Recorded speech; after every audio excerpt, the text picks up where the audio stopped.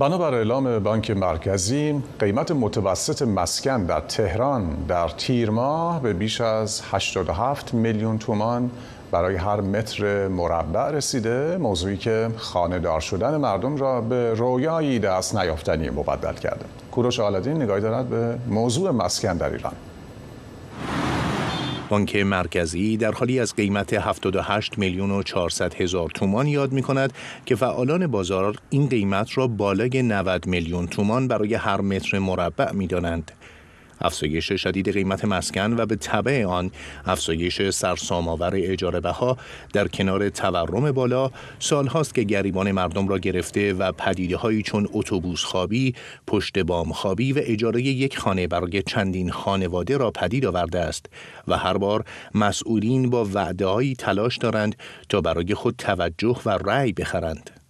پس از وعده ساخت 4 میلیون مسکن ابراهیم رئیسی علیرضا زاکانی شهردار تهران که کارنامه او مملو از خشک کردن درختان و نابودی بوستانهای شهر است در دوران کاندیداتوری خود ادعا کرد با مدیریت و تجربه‌ای که دارد مشکل مسکن را چهار ساله حل می کند بنده معتقدم و مردم عزیز هم خواهم گفت که با تجربی که کسب کردم و با اجراییاتی که داشتم با برنامه‌ریزی که کردم ظرف چهار سال دغدغه مردم رو از مسکن برخواهم برداشت. و در جای دیگر از همین گفتگوی تبلیغاتی از وعده ابراهیم رئیسی مبنی بر ساخت چهار میلیون مسکن هم فراتر رفت و ادعای ساخت ده میلیون مسکن را کرد. کل کشور تبدیل میشه به کارگاه ساختمانی. مردم می‌سازن به جای چهار میلیون وعده که قاعده قانونی است.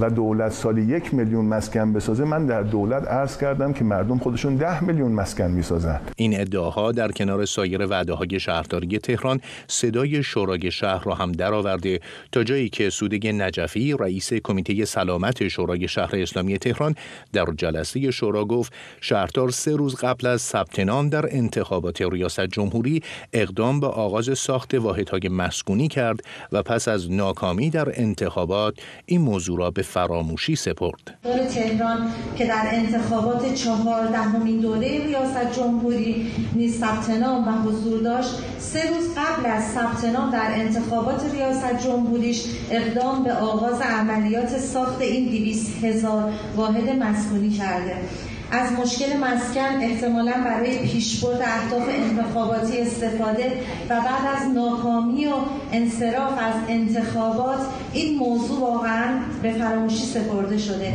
که این امر به نظرم مستاق بارز وعده خلاف واقع به شهروندان هست.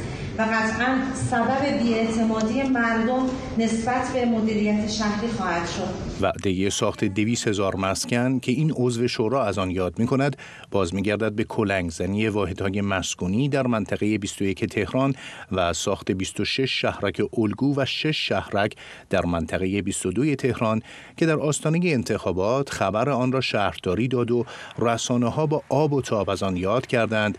و پس از سه ماه خبری از عملیات اجرایی نیست. در مقابل سازمان بهشت زهرا از فروش قسطی قبر به شرط خرید در سال 1402 خبر می دهد و موضوع اصلی جلسه شورای شهر تهران هم موضوع تسهیلات بهتر و بیشتر برای اربعین سال آینده بود. کروش آلدین صدای آمریکا